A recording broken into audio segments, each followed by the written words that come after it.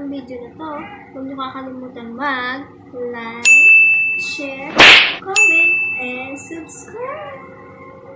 And click niyo na rin ang notification bell para lagi kayong updated sa aking mga video. Bye!